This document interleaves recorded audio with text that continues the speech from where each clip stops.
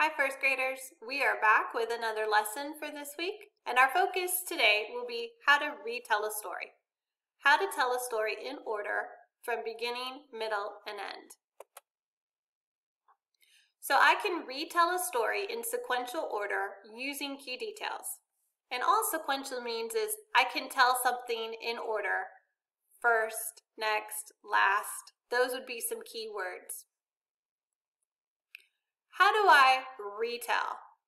Well, I need to remember those story elements that I learned about last week.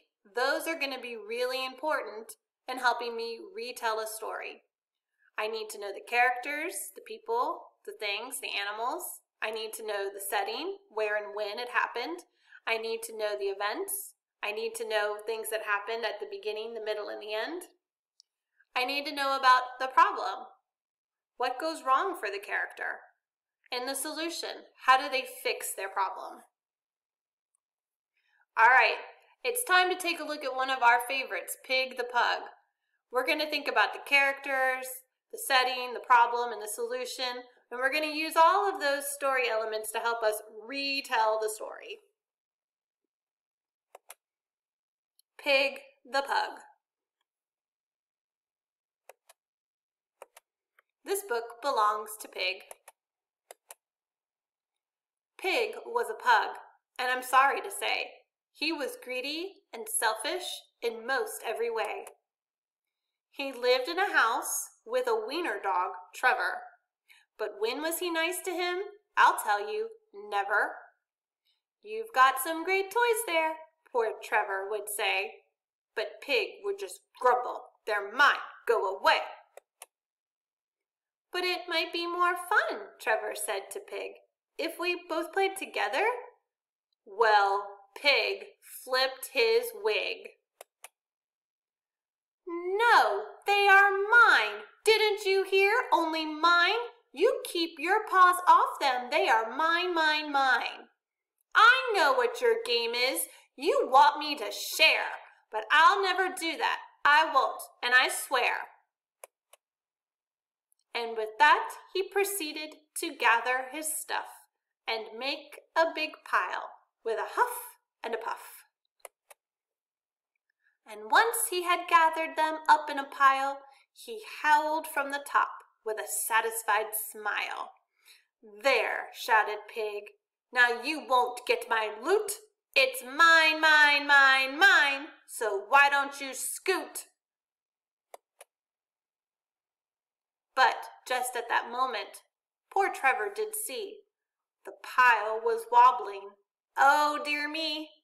Watch out up there! Good Trevor did cry.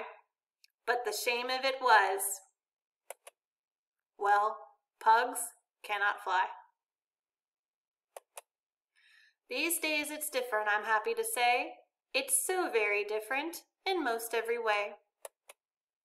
Yes, Pig shares his toys now, and Trevor's his friend and they both play together. Wow, pigs on the mend. All right, so let me go back and think about my story elements. So my main characters, I've got Pig the Pug, and I've got Trevor. This is who the story is about, these two characters. Now I need to think about my setting. Where does this story happen? Well, Trevor and Pig are animals, so they live in a house.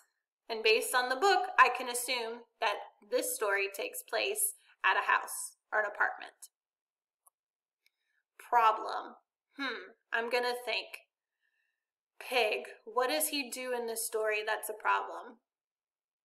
Well, I know that he's greedy. He just wants everything for himself and he doesn't want to share his toys with Trevor. That's a problem. How does this get solved? Well, his greed, his greediness, the fact that he doesn't want to share anything, leads to him getting hurt. He falls out a window and he learns that he has to share with Trevor. All right, I'm going to put all of those things that I just reviewed into practice with a new story. So remember, when I'm retelling, I'm going to think about all of my story elements and I'm going to think about how to tell a story from beginning, middle, and end. So with Pig the Pug, if I wanted to tell what happened in the story from the beginning, we have Pig, who doesn't want to share his toys. He makes a big pile, and then he falls out a window because he isn't sharing. So I told the story from beginning, middle, and end. All right, let's take a look at how this works when we have a passage that we're asked to read. We're going to read the passage and we're just going to focus on the first two questions today.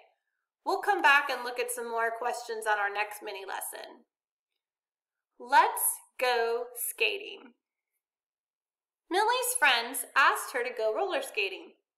She had never tried to skate before. She put on a helmet, knee pads, and skates.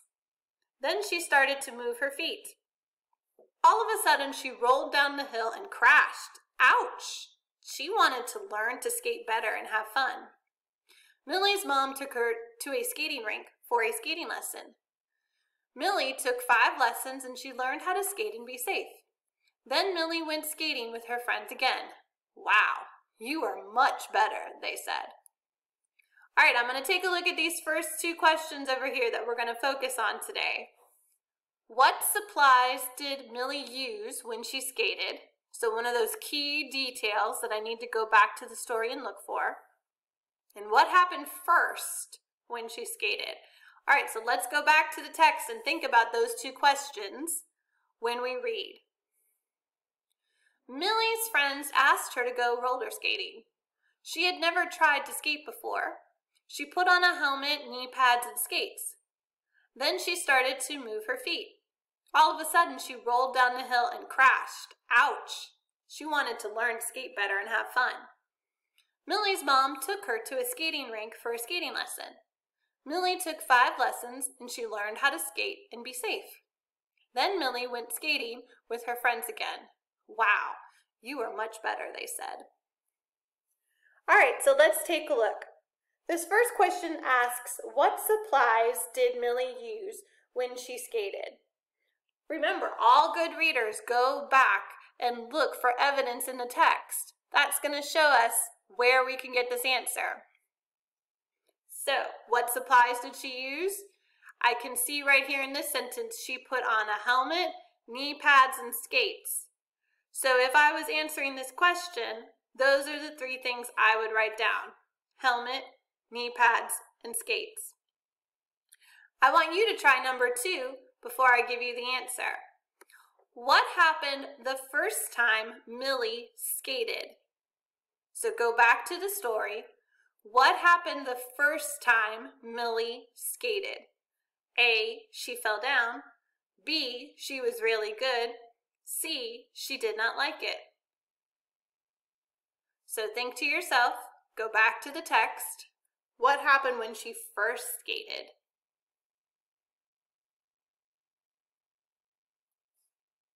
All right, if I had to choose an answer, I would go with A, she fell down.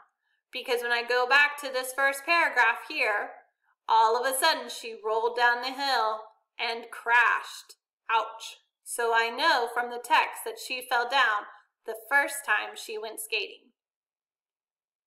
The next time we come back to our mini lesson, we're going to be using all the things we learned last week and today about story elements and retelling to help us find the central message.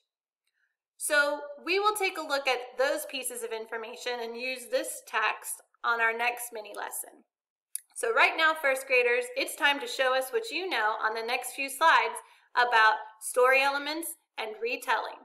And come back on Wednesday for another lesson on Central Message.